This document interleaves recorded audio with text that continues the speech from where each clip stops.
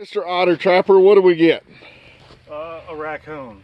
Are you going to show us your pelvis Uh, pump because you no, thought it was no, an I otter? already did. I already did the pelvic thrust uh, dance, and for the otter, you got to do that or you don't catch the second one. But no, uh, it was a, a false pelvic thrust uh, dance. yeah. No. Yeah. That's what happens out here trapping. Thought, thought we had one. No.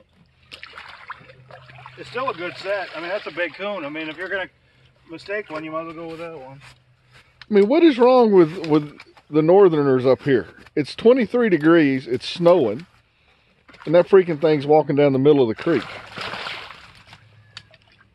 It probably, you know what? In the way society is today, he probably self-identified as a otter, and I mean, and uh, being politically correct, I'm gonna go with that. Well, what's the pronoun for for that then? Uh, I'm not sure. I don't even know what a pronoun is. I was I was waiting to see what his answer was on that one. what, what, what pronoun? He's over there trying to think what a pronoun is. I do remember that an adjective is a person, place, or thing, or activity. But uh, other than that, I'm not sure. That's a big that's a big big coon though. I could see why he thought he was an otter. I mean, look at look at the form on him. Hey, ten bucks is ten bucks. That's a big coon.